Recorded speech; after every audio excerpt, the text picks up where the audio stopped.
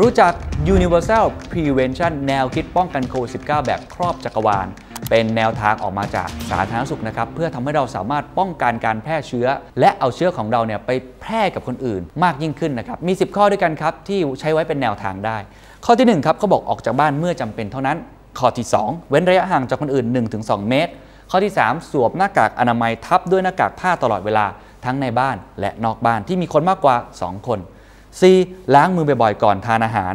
5. หลีกเลี่ยงการใช้มือจับหน้ากากอนามัยที่สวมอยู่ 6. ผู้ที่มีอายุมากกว่า 60 ปี หรือโรคเรื้อรังหลีกเลี่ยงการออกนอกบ้าน 7. ทำความสะอาดและฆ่าเชื้อพื้นผิวที่ถูกสัมผัสบ่อยๆ 8. แยกของใช้ส่วนตัวทุกชนิด 9. เลือกทานอาหารร้อนหรือปรุงสุกใหม่ และ 10 ครับ หากสงสัยว่ามีความเสี่ยงให้รีบตรวจหาเชื้อด้วย ATK Antigen Test Kit ครับ